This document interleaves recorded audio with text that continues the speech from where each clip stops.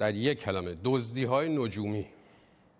خب سردار سلشگر پاسدار محمد علی جعفری فرمانده سپاه. بخش اطلاعات سپاه پاسداران مسائل امنیتی نفوذ و فسادهای اقتصادی را دنبال می کند و ماجرای دستگیری اخیر نیز تنها مربوط به مسائل حقوقی نیست بلکه به فساد بزرگتری مربوط است که برخی سیاسیون نیز درگیر آن هستند. موقعی که دو تا از کسایی رو که فیش های نجومی گرفته بودند اطلاعات سپاه اعلام کرد که بازداشت کرده و اینها. بعد فرمانده سپاه میاد صحبت می‌کنه. حکومت نظامیه. میگه برخی سیاسیون نیز درگیرش هستن. یعنی چی؟ یعنی سپاه هست که مسلط است بر اوضاع چی کار است سپاه؟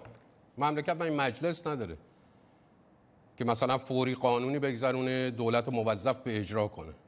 مگه دولت نداره؟ مگه دیوان محاسبات نداره؟ مگه وزارت اطلاعات نداره که جزوی از دولته؟ مگه قوه قضایی و پلیس نداره که شما خودتون رو انداختین وسط شدین ضابط قوه قضاییه. از کی دستور گرفتین که همه قوای مملکت و نهادهای متعارف درگیر رو دور می‌زنین و رأسن به قول خودتون عمل می‌کنین؟ از کی دستور می‌گیرین؟ از رهبر معظم. بله سپاه از کسی دستور می‌گیره که خودش به گزارش رویترز به عنوان ولی فقیه فقط ستاد اجرایی فرمان امامش 95 میلیارد دلار بودجه بی حساب کتاب داره. دریافتی از 14 درصد تا 30 درصد از چاه جمکران و حرم امام رضا و حرم عبدالعظیم و 11 هزار تا امامزاده تو جیب قباش میره. بعد بند چهار ماده دو قانون اصلاح قانون مالیات های مستقیم مصوبه 27 5 94 دوره نهم مجلس. بنیادها و نهادهای انقلاب اسلامی دارای مجوز فعال ببخشید از اول برمیگردم می‌خونم. بنیادها و نهادهای انقلاب اسلامی دارای مجوز معافیت از طرف روح الله خمینی و سید علی خامنه ای معاف از پرداخت مالیات مستقیمند. بند چهار ماده دو قانون اصلاح قانون مالیات های مستقیم. مالیات ندادن که فقط پول ندادن به خزانه عمومی نیست. بی حساب کتاب بودن اساسش. وقتی مالیات ندی دلیلی نداره که کسی بیا چک کنه که تو دخل و خرج چقدره. خامنه و سپاه میگن ما می‌تونیم حسابرسی بکنیم از دیگران. کسی نباید از ما حسابرسی بکنه. اطلاعات سپاه سفتر حسینی رئیس معزول صندوق توسعه ملی را بازداشت کرد. دریافتی سفتر حسینی به صورت میانگین ماهانه 57 میلیون تومان و به عبارت دیگر جمعا حدود 686 میلیون تومان بوده است. یعنی از پاداش ها و نمی‌دونم حق شرکت در نمی‌دونم فلان جلسه و سپاه پیشتر علی رستگار مدیر عامل معزول بانک ملت را نیز بازداشت کرده بود. ببینید داستان این است که رهبر بعد از ضربه خوردن وزارت اطلاعات دوره خاتمی سر قتل‌های زنجیری آمد اطلاعات سپاه رو تقویت کرد و زیر نظر بیت خودش سازمان عریض و طویلی که معروف است به اطلاعات موازی درست کرد. قلبش همین اطلاعات سپاه رئیسش حسین طائب. رئیس اطلاعات سپاه همین شخص میاد میگه ما مدیر عامل بانک رفاه و ملت رو دستگیر کردیم. سخنگوی قوه قضایی ایجهی هم میاد او رو تایید می‌کنه. همه این خبرها رو دیدین دیگه. تایید می‌کنه میگه چند نفر زندانی و چند تا هم آزادن و اطلاع رسانی می‌کنه از اقدام نهاد اطلاعاتی یک نهاد نظامی. شد سخنگوی قوه قضاییه میاد تایید می‌کنه که فلان نهاد نظامی بله دستگیر کرده فلان اینها و, و او مسلط است بر اوضاع. ببینین فارغ از اینکه یه همچین چیزایی رو جهان فقط و فقط تو دوره های حکومت نظامی شاهد بوده همین همسایه ترکیه فعلا داره همین کارا رو می‌کنه چرا سپاه و چرا اطلاعات سپاه میان وسط؟ تو وضعیت امروز ایران. تجمیع قدرت در یک نهاد فساد درست میشه. هر کاری شما بکنید. اگر تفنگ و پول و روزنامه و سایت و تبلیغات همه یه جا جمع شد حتما فساده شک نکنید. دنیا عقلش رسیده که این قدرت ها رو تفکیک کرده. ما در مجلس شورای اسلامی شاید مثلا یک سال گرفتار این مسئله بودیم به ما فشار می آوردن که دستگاه اطلاعاتی کشور رو بدیم به یک نهاد نظامی. و ما زیر بار نرفتیم. فشار که به ما زیاد شد از امام سوال کردیم. امام فرمود نه من همچون نظری ندارم. شما تصمیم بگیرید. و ما یک وزارت خونه درست کردیم با اینکه کار بسیار سختی بود برای اطلاعات وزارت خونه درست کردن. معانی خاص خودش رو داشت. وزارت اطلاعات درست کردیم که مجلس بتونه نظارت بکنه. و در وزارت اطلاعات گفتیم نیروی مسلح نباید وجود داشته باشه. تا بشه کنترل کرد. ولی شما اگر اطلاعات رو تفنگ رو پول رو سرمایه رو سایت رو روزنامه رو خبرگزاری رو همه رو جمع کردی در یک نهاد. ابوذرم باشه فاسد میشه. سلمانم باشه فاسد میشه. اشکال داره کار ما. ببینید این موزگیری در برابر اطلاعات سپاه و در برابر خود سپاه به طور کلی که البته روشن است که هدف روحانی اووردن حتی امور اطلاعاتی همه امور اطلاعاتی روحانی خیلی حساس است به دلیل سابقش به امور اطلاعاتی می‌خواد همه امور اطلاعاتی رو بیاره زیر چتر دولت خودش. و شنیدین دیگه اینجا میاد حمله می‌کنه. خب این تبعاتی داره. حتی اگر چنین موزگیری رو روحانی مسئول ارشد امنیتی 25 ساله این نظام انجام بده. سپاه انقدر پول اسلحه و رسانه داره که برنده میشه.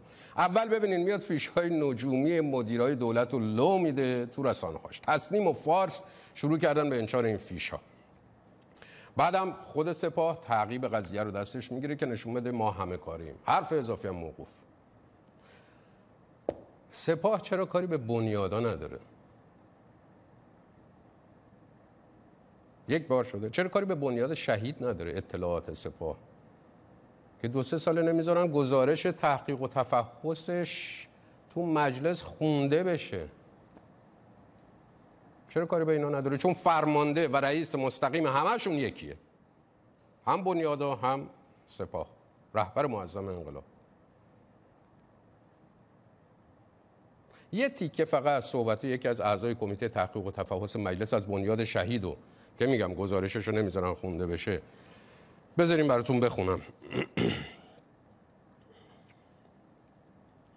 واگذاری قسمتی از عملیات ساختمانی احداث پروژه هتل امام رضا علیه السلام مشهد به ظاهر از طریق مناقصه عمومی عرضه شده است. ولی عملا میدن به یکی از فامیلاشون. مدیر عامل این شرکت با معاون اداری مالی وقت سازمان نسبت فامیلی داشته است. بار مالی این قسمت از عملیات ساختمانی پروژه مذکور یعنی پروژه هتل امام رضا بیش از 650 میلیون تومان است. در نمونه دیگر در واگذاری بخش از کارهای مربوط به تجهیز هتل هویزه در انجام مناقصه ای که به ظاهر جداگانه برگزار شده مناقصه هایی که به ظاهر جداگانه برگزار شده تو همش تنها یک نفر برنده شده و در این مورد هم رد پای از ارتباط فامیلی فرد برنده مناقصه با معاون اداری مالی وقت سازمان دیده می شود برآورد هزینه بازسازی سه طبقه هتل هویزه بالغ بر 5 میلیارد و 200 میلیون تومان تعیین شد.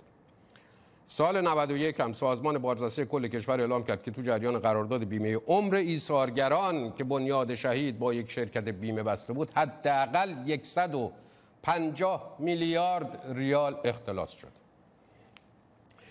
اینا پولایی است که حق خانواده شهدای جنگ از طبق ضوابط و قوانین خودشون.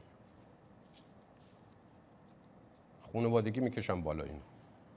چرا سپاه اینجا نمیاد وسط؟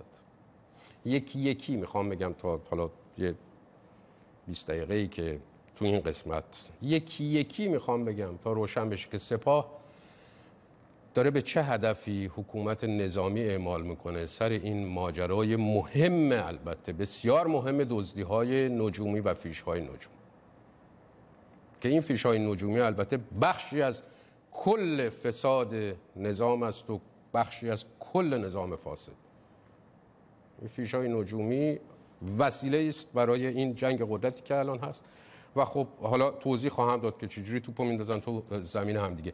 ببینید یک نمونه دیگه سعید مرتضوی. همدست همیشه اطلاعات سپاه تو سرکوب سال 88 تا قبل از اون. مرتضوی که دادستان تهران بود 82 تا 88 عباس پالیزدار دبیر هیئت تحقیق و تفحص مجلس هفتم از قوه قضاییه رو می‌گیرن میندازن انفرادی.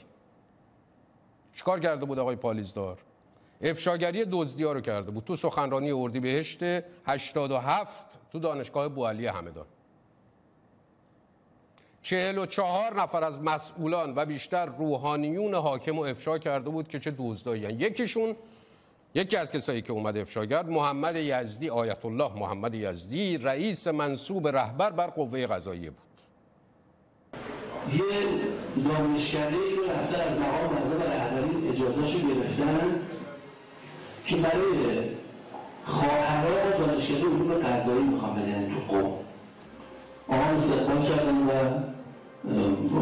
دست مجوز سلوک دانشگاه دستورشو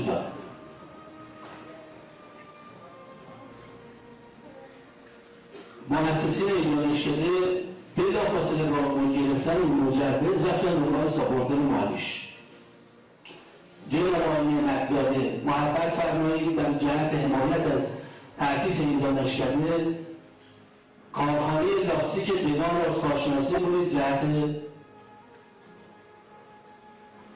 این دانشکده. دادن کارشناسی های مجازه کارشناسی رسمی دادگستری چون خب حالا بالاخره یه جوری کارشناسی دادگستری هم از این آقایونی که در واقع صاحبان مؤسسین این دانشکده خودشون رو نامگذاری کرده بودن چون تو دستگاه قضا دخیل بودن دادگاهشناسی رسمی دادگستری هم میترسیدن که قیمتی بزنن که مثلا بین بر بخوره قطعا قیمتی می‌زنن که خوشمحال این باشه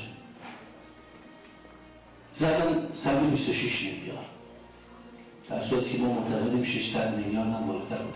تازه 126 میلیارد چیا رو توش نزدن. ویلاهاشو تو شمال رو نزدن. اصلا تو آمار نیوردن.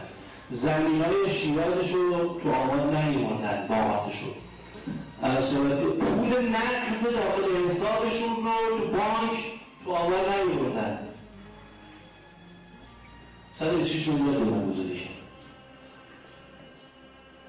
اون آقا فرموده که آقای نعمتزاده محبت کنید تخفیف منظور فرمایید. آقای نعمتزاده رو نوشتن پنجاه درصد تخفیف. از بابا شما هست بخش دوباره نوشتن که محبت کنید تخفیف دیگری منظور بفرمایید. خلاصه پنج بار نامنگاری انجام شده. و عدد 126 میلیارد به 10 میلیارد و 300 تبدیل شده. بعد از اون نامه نوشته که خب ما امکانات پرداخت پول نداریم. ترتیبات اتخاذ فرمایید تا با امکان این پول برامون پرداختش فراهم بشه. آقای نیازدی نوشته آقای محمد تقی بانکی رئیس سازمان صنایع ملی ایران. 23 میلیون تومان از صندوق سازمان صنایع ملی ایران برداشت کنید. صفحه بخرید.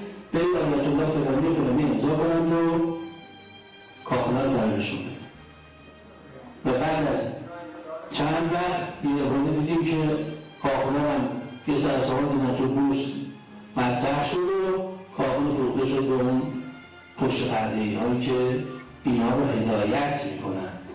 چند میلیارد هم زدن به جیب رفت.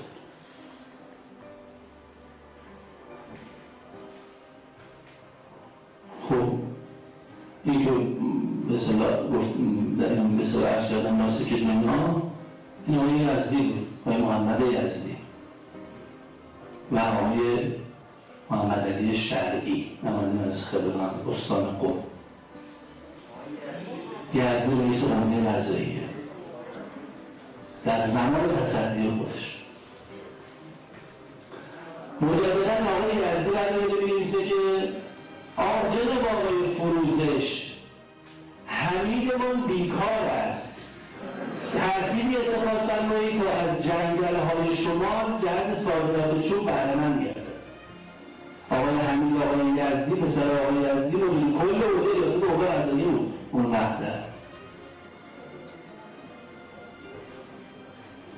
و جنگل های شما رو به تاراج بردن برفتن نه اسنادش هست میگم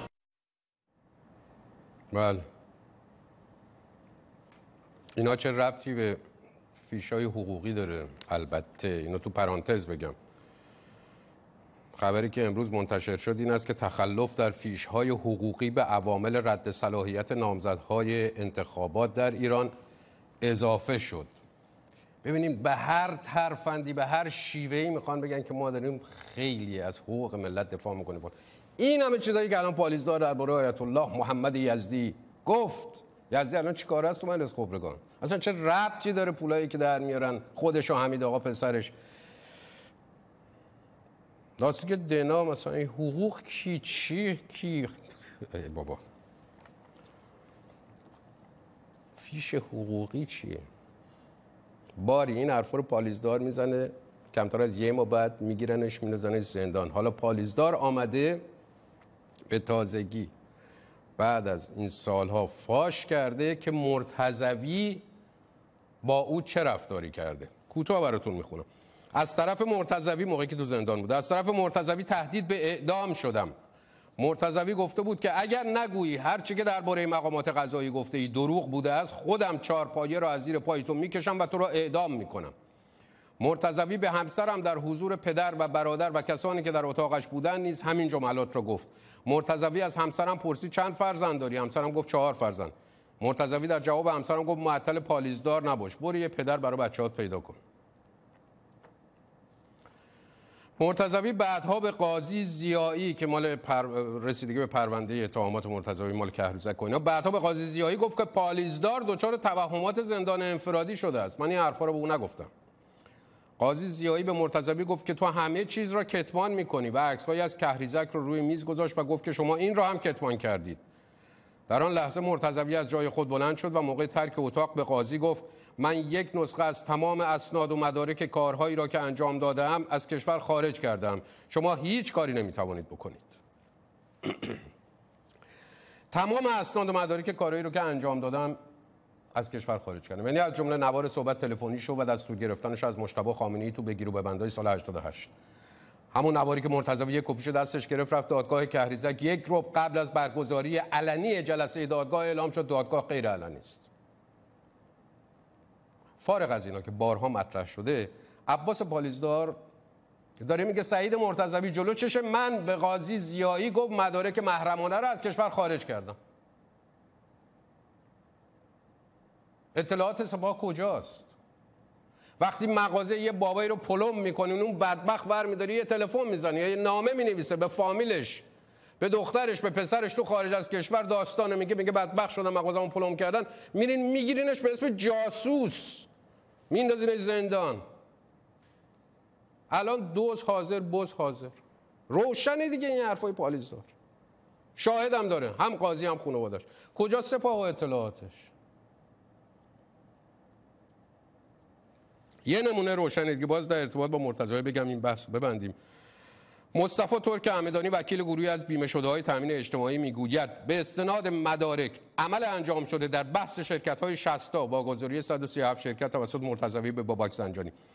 یک قرارداد بوده است بین سعید مرتضوی مدیر عامل وقت سازمان تامین اجتماعی به عنوان فروشنده و شرکت سورینت قش متعلق به آقای زنجانی به عنوان خریدار که نوشته و امضا شده است. در این مرحله چک هایی به ارزش 82 میلیارد ین ژاپن از سوی تامین اجتماعی. برای سورینت قشم صادر شده و به عنوان زمانت قرارداد در اختیار این شرکت قرار گرفته است. نکته در اینجاست که رقم این چک ها با رقم نوشته شده در متن قرارداد یکسان نیست. در قرارداد عدد 80 میلیارد ین ژاپن تعیین شده اما رقم چک های صادر شده 82 میلیارد ین است. یعنی در همین مرحله هم دو میلیارد بیش از آنچه لازم بوده از حساب سازمان تأمین اجتماعی چک صادر شده. ها تو قرارداد نوشته بوده 80 میلیارد ین ژاپن 82 میلیارد ین ژاپن چک امضا کرده. آقای مرتضوی به امضای خودش و داده است به آقای بابک سنجانی. مرتضوی در توضیح این تفاوت دو میلیارد ینی یعنی 60 میلیارد تومنی 60 میلیارد تومن. گفته است من خسته بودم. آخر شب صحو قلم پیدا کردم. اینو تو دادگاه میگه. بعد خبرنگار سوال می‌کنه از مصطفی ترک همدانی که تو دادگاه بوده. میگه خب حالا این چکا کجا هست؟ جواب وکیل. آقای بابک زنجانی این چک ها رو در بازار خرج کرده است. 60 میلیارد تومن یه قلم دزدی آشکار جلو چش مردم. نیست شد. مرتضوی کجاست؟ رئیسش احمدی نژاد کجاست؟ الان داره مسلحت نظام و تشخیص میده با بقیه رفقاش تو مجمع با بقیه همدستاش واقعا. تو مجمع بعدم می‌خواد بیاد دوباره رئیس جمهور بشه. همین حالا رفته توی ساختمان قصبی که سه ساله حکم تخلیهش آمده ستاد انتخابات واسه خودش رو انداخته. آقای احمدی نژاد مال دزدی به دست آمده از قدرت انقدر مزه کرده که از همین الان حتی ساختمونی که توش جمع میشن واسه انتخاباتشون برنامه بریزن دزدیه.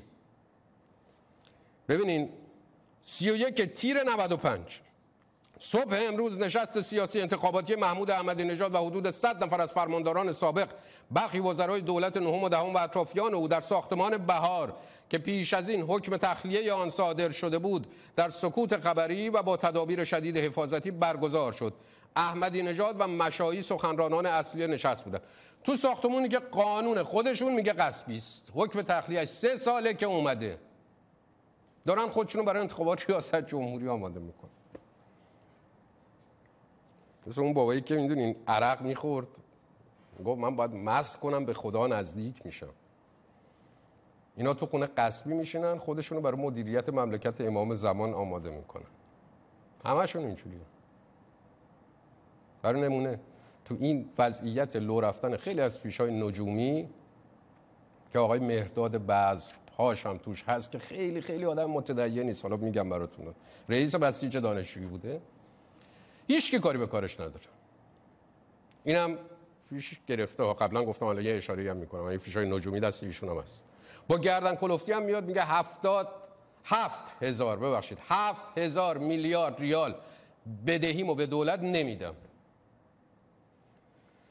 می‌دونین دیگه صاحب امتیاز مدیر روزنامه وطن امروزه. روزنامه وطن امروز با مدیریت مهرداد پاش که از دولت های نهم و دهم حمایت می‌کرد در فاصله مهر 87 تا آذر 89 یعنی درست دو سال دو سال و دو ماه.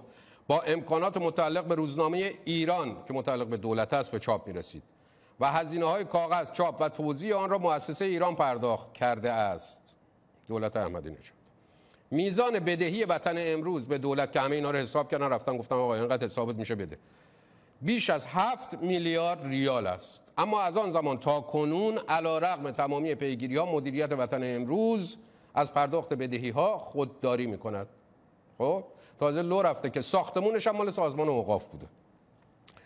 ساختمان وطن امروز متعلق به سازمان اوقاف و امور خیریه است که رئیس وقت این سازمان بیت المال و اموال وقفی مردم را به صلاح خود در اختیار بعض پاش و روزنامهش قرار داده بود.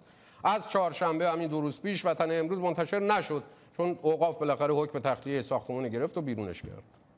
به قول خود بعض پاش ریخ بیرون وسایلشو ساختمون وقفی کاغذ و چاپ مجانی به خرج دولت. خب؟ اینا هزینه کاره. مفتی. بعد درآمد داره دیگه. روزی چهار هزار تا تیراژ داشت. داره. یعنی تو همین چهارشنبه دیگه. روزی چهار هزار تا تیراژ داره روزنامه وطن امروز. قیمتش هم تک تومنی هزار تومن. تک نسخه ای یعنی چی؟ دونه هزار تومن چهار هزار تا. یعنی روزی چهار میلیون تومن آقای بزپاش میذاشته جیبش. حداقل تو مدت دو سال 87 تا 89 آدم سرش رو به کدوم دیوار بکوبه؟ یه قلم دزدی حاج آقا مهرداد پاش از سفره مردم. توی برنامه دیگه هم اشاره کردم که مهرداد پاش که قبلا مسئول بسیج دانشجویی بود سالهای 87 تا 88 به عنوان مدیر عامل سایپا با چهار تا عضو دیگه هیئت مدیره سایپا 600 میلیون تومان پاداش به خودشون دادن. بسپاش موقع 28 سالش بود که احمدی نژاد کردش مدیر عامل سایپا. هیچ تجربه مدیریت صنعتی هم نداشت. فقط دوز بود. امروز هم از همینا تو همین ایران خودرو. مطالعه آخرین صورتهای مالی منتشره توسط شرکت نشان می‌دهد. برای سال گذشته سال 94 مبلغ 3 میلیارد و 275 میلیون ریال به عنوان حق حضور و پاداش هیئت مدیره این شرکت در نظر گرفته شده. که این رقم نسبت به سال 93 دقیقا دو برابر شده. 3 میلیارد و 300 میلیون تومان.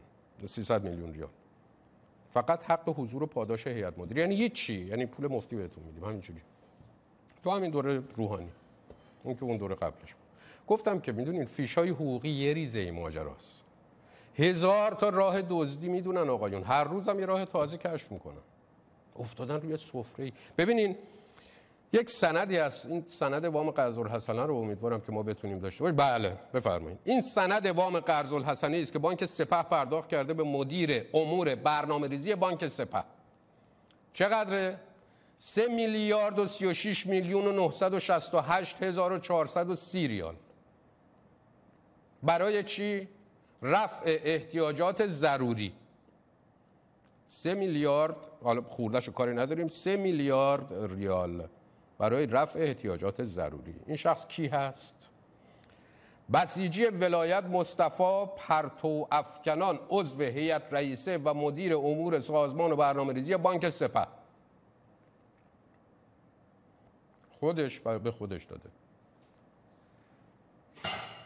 حالا یه بدبختی که قرض داره داره نزول میده می‌خواد نیفته زندان می‌خواد زن و بچهش نرن تو خیابون بخوابن یا بازنشسته است دخترش رو می‌خواد شوهر بده پول کافی برای جهیزیه نداره.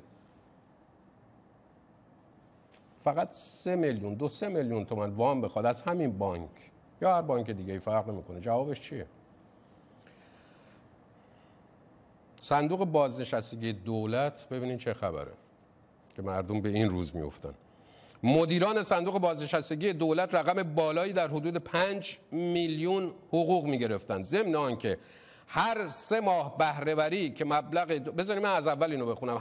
حقوق می گرفتن حرفای پرته ها این حقوقا هیچ کدومش هنوز جابجا جا نشده و خواهم گفت که جابجا جا نخواهد شد.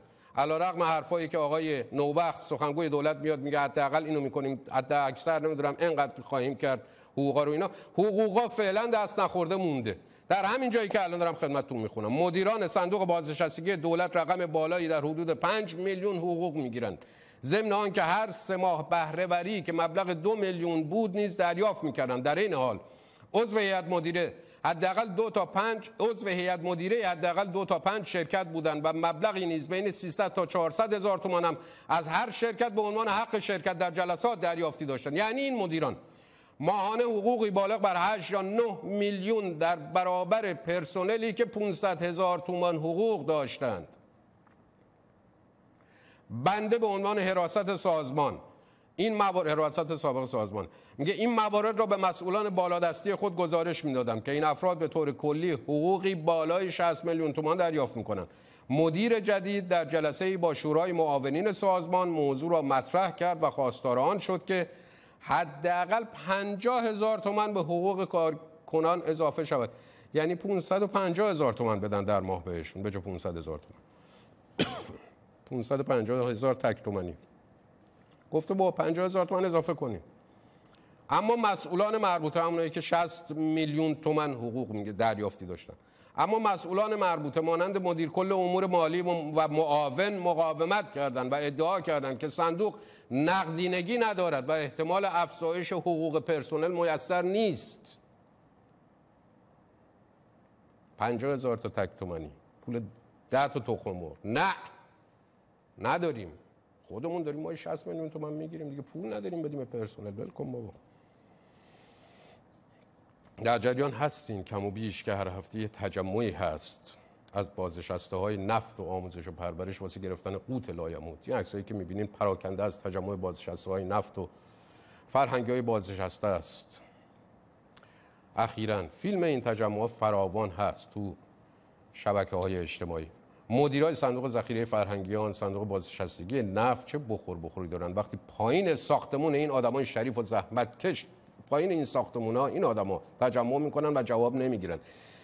یه نماینده مجلس مخالفه احمدی نژاد یه چند تا رقم فاش کرده. اینا تو سر کله هم می‌زنن که ما هم استفاده می‌کنیم. از این افشاگری ها پرداخت پاداش 900 میلیون تومانی در صندوق بازنشستگی نفت. پرداخت متعدد پاداش های 100 و 200 میلیون تومانی هر دو, دو هر دو در دولت احمدی نژاد. مدیران صندوق ذخیره فرهنگیان 30 میلیون تومان حقوق می‌گیرند. خب اینجا سپاه و دستگاه اطلاعاتیش کجا تشریف دارن سپاه خودش رئیس دوز داشت. هیچکی نمی‌دونه دخل و خرج پروژه های اقتصادی و مالی سپاه چقدره. فرمانده قرارگاه خاتم الانبیا سپاه آمد گفت ما دیگه قراردادهای زیر 300 میلیارد تومان رو قبول نمی کنیم پیش پا افتاده است. وقت سپاه می‌گیره. یه تعداد پروژه هایی که سپاه گرفته ایناست. برای مثال کوتاه عرض می‌کنم. 3500 کیلومتر خط لوله انتقال گاز نفت و فرآورده های نفتی در قالب 9 پروژه. 3000 کیلومتر خطوط انتقال آب از سدها و مخازن به شهرها و روستاها در قالب 12 پروژه. 21 سد بزرگ و کوچک با حجم مخزن حدود 3 میلیارد متر مکعب. ببینین حالا فکر می‌کنین که این پروژه ها رو انجام میده یا فقط پولشو می‌گیره. اتوبان پاسداران نمونه ای بگم. محور شمالی تبریز. روابط عمومی شهرداری تبریز. صادق نجفی شهردار تبریز اظهار کرد در کنار برنامه ریزی های مؤثر و تحول آفرین عمرانی ناگزیر این بخش از تلاش خود را صرف اصلاح برخی موضوعات عمرانی گذشته کنیم. از جمله اتوبان پاسداران. بر اساس گزارش های ارائه شده متاسفانه به خاطر شرایط نامطلوب این اتوبان طی سه سال اخیر بیش از 100 نفر جان خود را در حوادث این مسیر از دست داده است. اتوبان پاسداران پروژه‌ای بوده است که داده بودن به سپاه. حالا اون اتوبانو که تموم شده پولش هم دادن به سپاه و سپاه این این بلا رو سر اون منطقه آورده اون اتوبانو 6 60 میلیارد تومن دادن به یه پیمانکار دیگه که تیکه تیکه داره از نو می‌سازه. مردم اون حوالی می‌دونن. یعنی اون همه پول و انرژی باد هوا. ولی باورتون باشه که دوباره جلسه شورای شهر تبریز همین بهمن 93 آمد پروژه یه اتوبان دیگر رو داد به سپاه. همونجا اسمش هم گذاشتم پروژه اتوبان ولایت. یا یه پروژه دیگه که اسمش گذاشتن ایران رود که یه چیز عظیمی است و من نمی‌دونم با چه بودجه اینو دادن به سپاه. دکتر ناصر کریمی استاد محیط زیست میگه رئیس کمیسیون امنیت ملی مجلس می‌گوید طرح اتصال خزر به خلیج فارس رسما کلید خورده. و به قرارگاه خاتم الانبیا سپاه سپرده شده است. مسئله این نیست که این طرح مطلقا توجیه فنی ندارد. اینا رو دکتر کرمی میگه. مسئله این است که به فرض اجرا احتمالاً ابلهانه ترین پروژه مهندسی تاریخ بشر خواهد بود. چون با این همه هزینه این آب بیاید آنجا که چه بشود؟ نه امکانی برای تغییر اقلیم دارد نه می‌توان با آن کشاورزی کردن توجیه حمل و نقل دارد. کار از بلاحت گذشته. این یک کلاهبرداری شیادی و دزدی کثیف است. اگر یک ریال هم به این پروژه تخصیص یابد عاملان انگار از دیوار مردم بالا رفتن. عاملانی که روزگاری قرار بود از دیوار مردم محافظت کنن. این جنگ واقعا نعمت بود برای سپاه. بزرگترین مجموعه دزدی قاچاق به وجود آورده که غیر از کارشناسا دیگه حتی صدای یه دست حکومتی هم در آورده. قاچاق از منشأ رسمی داره وارد کشور ما میشه. ما حالا می‌خوایم بریم با بگیر و ببند و تعذیرات و گشت سیار بریزیم توی این واحدی که حالا 10 تا موبایل قاچاق داره اینو بگیریم ببندیم از هستی ساقطش کنیم که 10 تا موبایل دادن از منشأ چرا برخورد نمی‌کنیم؟ این رسیدگی ها واقعیت اینه که به طور جدی نیست. 97 درصد اساسا کشف نمیشه. قاچاق. ما نمی‌تونیم کشف کنیم میده از این 97 درصدی که کشف نمیشه دو تا سه درصد پرونده های بالای صد میلیونه. از این دو سه درصد یک درصد جریمه ها داره وصول میشه. این قاچاقچی ها کیان؟ سه تا اسکله شناخته شده. شناخته شده و وگرنه قالیباف میگه بیش از 200 تا اسکله هستش که جنس های قاچاق وارد میشه. 33 تا اسکله شناخته شده داره سپاه که جنس وارد می‌کنه. رسما. نه کسی می‌دونه چی وارد می‌کنه نه به کسی قرار حساب پس بده. احمدی نژاد که می‌دونید شده بود مستاق واقعا شده بود مستاق رسد آدمی به جایی که به جز خدا نبیند. می‌خواست کم کم جای رهبرم بگیره و خودش امام زمان تعیین کرده بود و می‌خواست امکانات سپاه هم بگیره دست خودش. اومد از سپاهی ها به اسم برادرای قاچاقچی مثلا گله کرد. تا بد نیست. یا من فلان سازمانم می‌خوام بالاخره خودم رو تجهیز کنم. اشکال نداره که قانون تصویب بشه معافیت از گمرک وارد بشه. رقم یه قرون دوزار که نی. دو هزار میلیارد تومان فقط مصرف سیگار در ایران. هزار هشتصد تا دو هزار. همه قاچاقچی های درجه یک دنیا رو به تمام ایندازه چه برسه به به قول طرف برادران قاچاقچی خودمون. خود احمدی نژاد بیشترین قرارداد رو داد به برادران قاچاقچیش. سال 88 شرکت مخابرات رو به یک هشتادم قیمت دادنش به سپاه. از سال 88 تا حالا سپاه با قسطایی که داده به دولت بابت خرید قسطی 51 درصد سهم مخابرات در رفته واسش مونده 250 میلیارد تومن.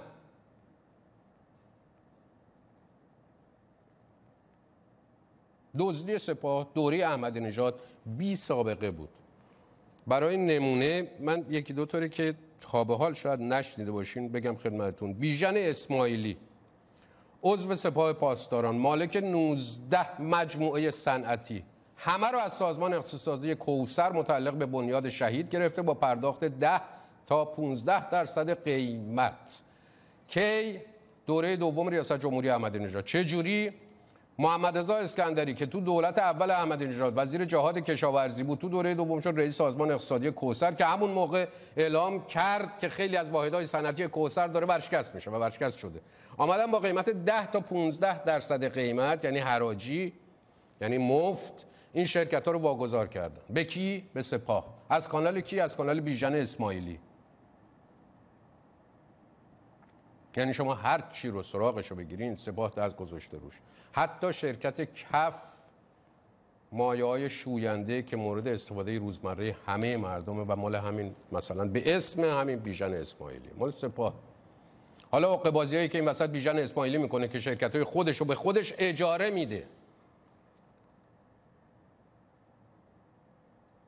از جمله همین تولیپرس و کف و اجاره میده به خودش. از این می‌گیره به اون اجاره میده. چرا؟ هیچ دلیلی دیگه ای نمی‌تونه داشته باشه جز پولشویی. فقط برای پولشویی.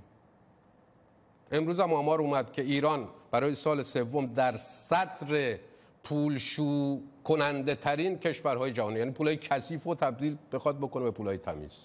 پول قاچاق هروئین رو بخواد تبدیل بکنه به پول تمیز. اینا یعنی پولشویی. بزنین چند نمونه رو پشت هم بگم تا ببینیم بخور بخور در چه حدیه قبل از اینکه خبر رو بشنوین اینو توجه داشته باشین که تو این مملکت نه اداره مالیات هست نه دیوان محاسبات هست نه وزارتخونه مربوطه که به فلان کارخونه یا شرکت مجوز میده هست هیچ. چون اگه اینا بود که امکان نداشته شرکت بیاد چند سال فاکتور بزنه همه برعکس می‌زنن. اینو توجه کنین چند سال فاکتور بزنه یه شرکت که ما, ما سالی دو میلیارد فقط سود داریم.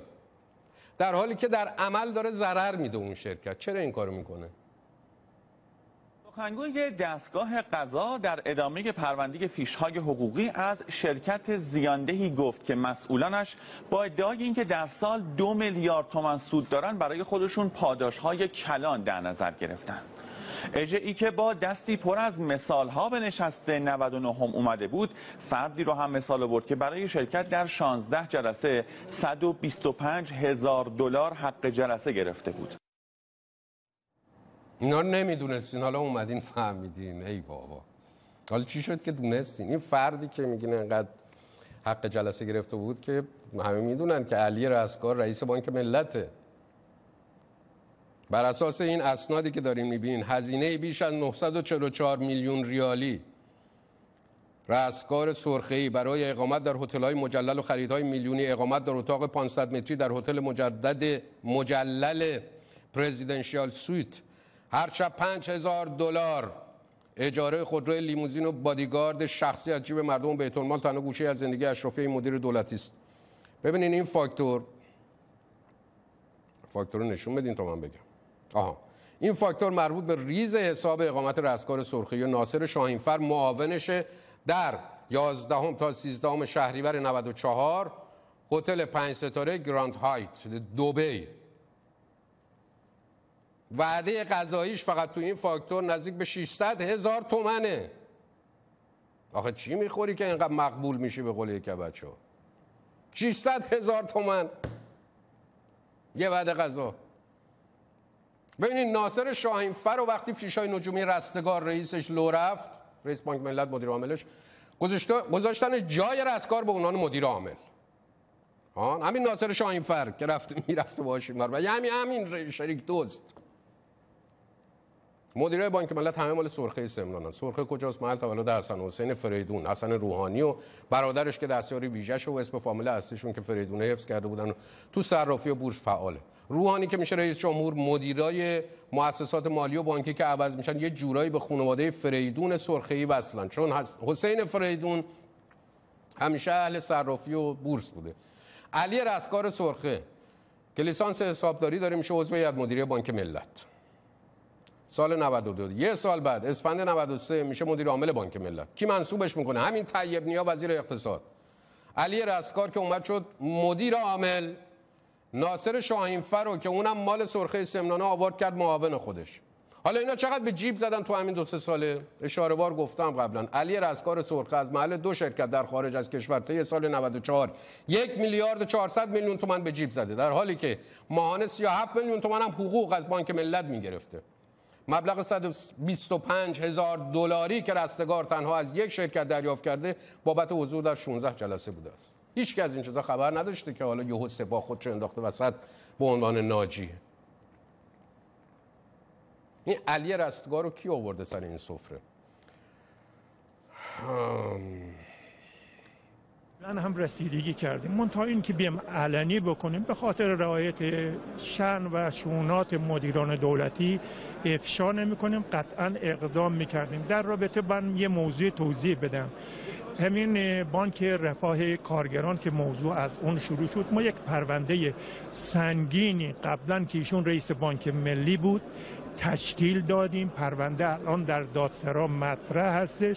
آقای فریدون حسین فریدون اصرار کرد به من که این آقا بیاد رئیس بانک رفاه کارگران که من به شدت مخالفت کردم و گفتم ایشون پرونده سنگینی داره ولی متاسفانه متاسفانه با اصرار ایشون و لابی ایشون این شد شد رئیس بانک رفاه کارگران. خب قوه قضاییه به نظر شما بیشتر از این می‌تونست کار بکنه؟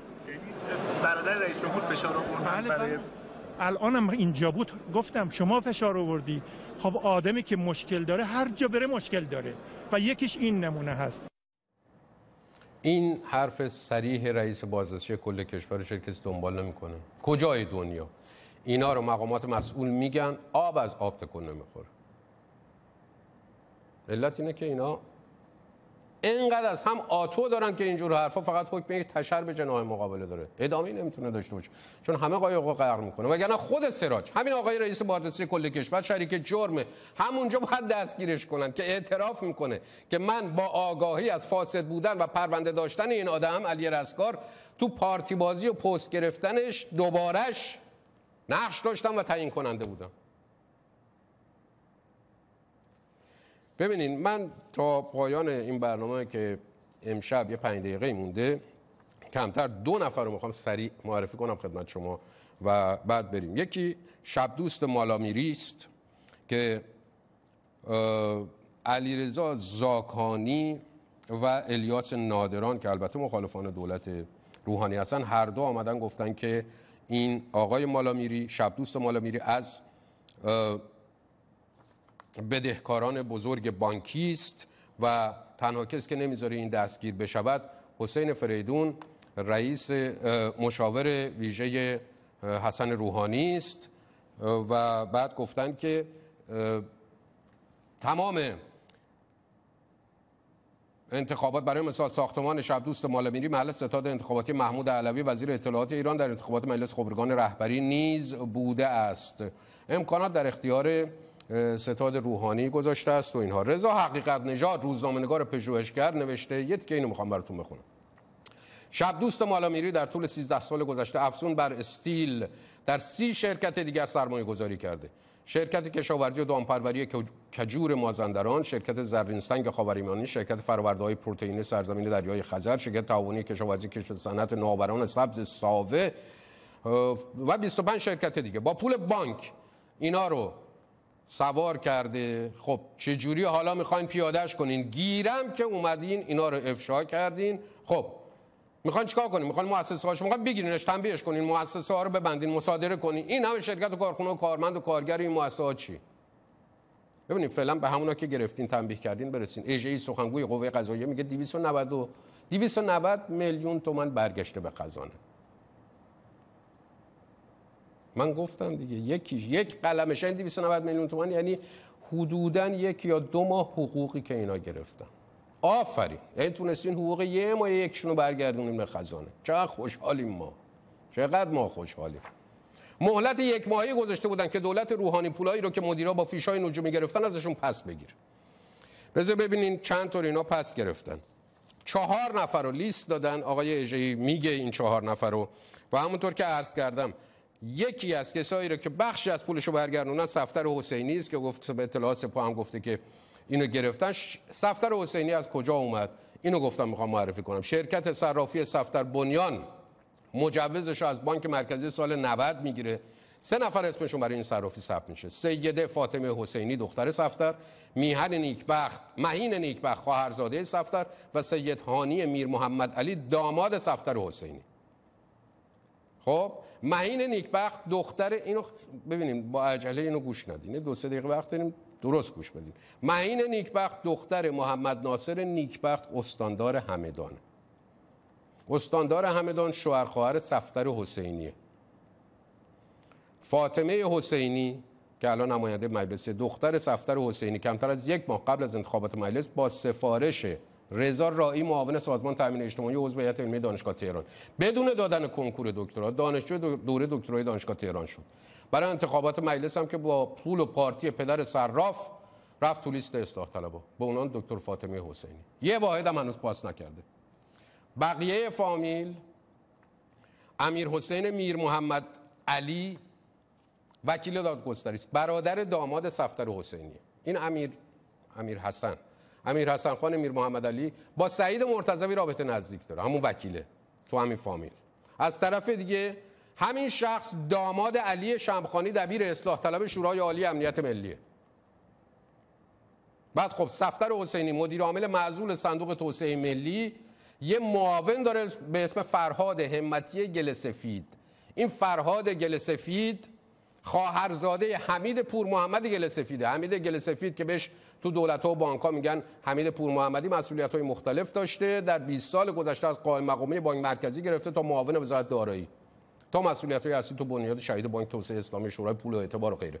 فرهاد گل سفید که این حمید پور محمدی میشه داییش با پارتی همین دایی شد مدیر عامل بانک ایران و ونزوئلا که مرکز پولشویی ایران بود تو آمریکای لاتین. و شد عضو هیئت مدیره بانک توسعه صادرات. سفتر حسینی در اوج بحران ارز چون رفیقش حمید پور محمدی گل سفید قائم مقام بانک مرکزی بود برای دختر و همسرش مجوز صرافی گرفت. همون صرافی اصلی که گفتم که یکی از متهمای اصلی اختلاس بزرگ بانکی شد. ولی خب شد که شد مهم نیست. سعید سید حمید پور محمد گل سفید متهم ردیف دو اختلاف 3000 میلیاردی معاون سفتر حسینی در استانداری کوهگیلی و بوی رحمت و معاون وزیر اقتصاد بود. الان معاون نوبخت سخنگوی دولت روحانی است.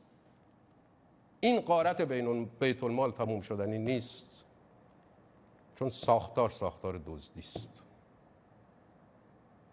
بیت المال بداند یک دزد هست.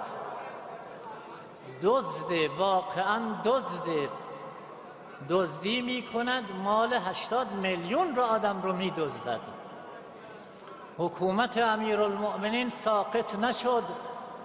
مگر فلج نشد مگر به واسطه همین غارتگران بود. غارتگران بیت المال که عادت به غارتگری داشتن؟ امیر المؤمنین خواست جلوشون بگیره.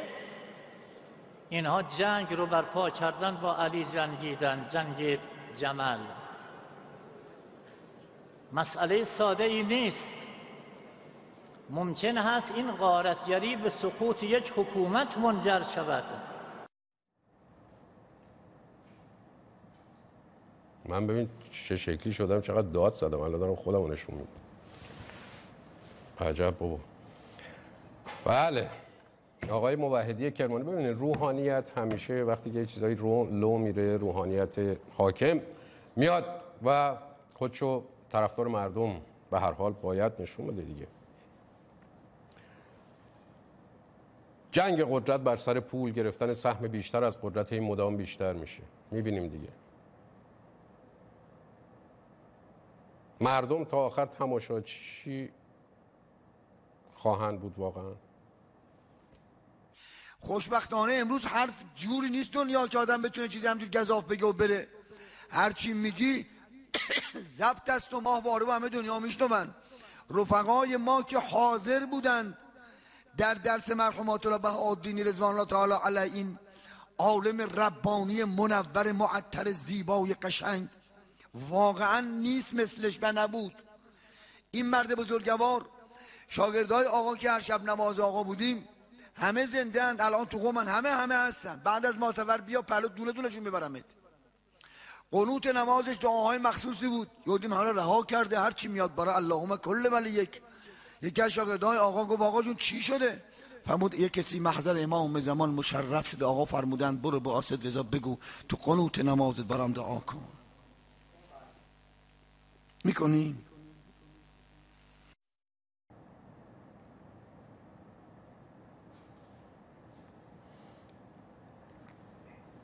ببخشید.